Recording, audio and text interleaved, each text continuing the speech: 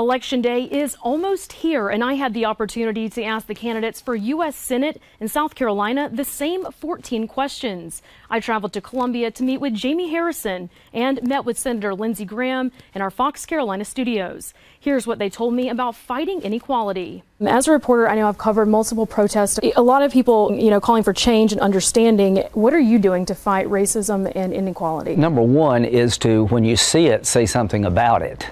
Uh, I, would like to reform the police, but I don't think the police in South Carolina are racist.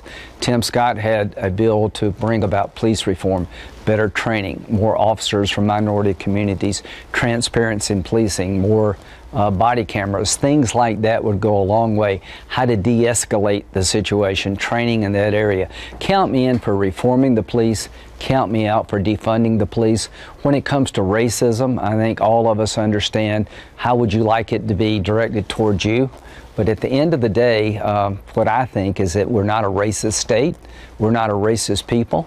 We have, uh, there is, as long as there's human beings going to be around, there's going to be an element of racism, but I don't buy the idea that America is a racist nation. I sure as hell don't buy the idea that South Carolina is a racist state. Let me tell you about South Carolina. Uh, we had the first uh, Indian American governor, female governor, Nikki Haley. Tim Scott's the only African American Republican in the Senate. It's not about your color or where you came from in South Carolina, it's about the content of your ideas. Uh, so I'm very proud of my state. And in our state, you can go a long way if you're conservative. If you're liberal, you're not going to go very far. I know as a reporter, I covered many protests, especially over the summer, um, people, you know, calling for change. What is your plan to fight racism and inequality? Well, it's, it's far time for us to bring everybody together. I think so many people are just tired of the divisions and the chaos. Uh, they're tired of folks who are, fanning the flames of division in, in, this country. And Senator Graham's hands aren't clean with that. He's done that throughout this campaign.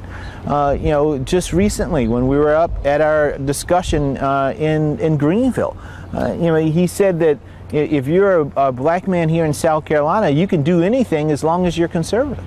What is that to say if you're the senior senator from the state of South Carolina? When you're the senator and you take that oath of office and you, uh, uh, you put your hand on the Bible to protect and defend the Constitution of the United States and to represent the people of South Carolina, you represent all of South Carolina's people black folks, white folks, Native Americans, Latinos, uh, yeah, liberals, conservatives, and independents. It is not for you as a senator to choose who can succeed and who can't or to pick apart who should do what and who shouldn't. When I'm the senator of South Carolina, this is a promise I make to everyone. I'm going to fight for those folks who voted against me just as much as I fight for those who vote for me because that's the job of a United States senator. And so, uh, you know, it's time that we, we heal these racial divisions that we have in our society and move forward.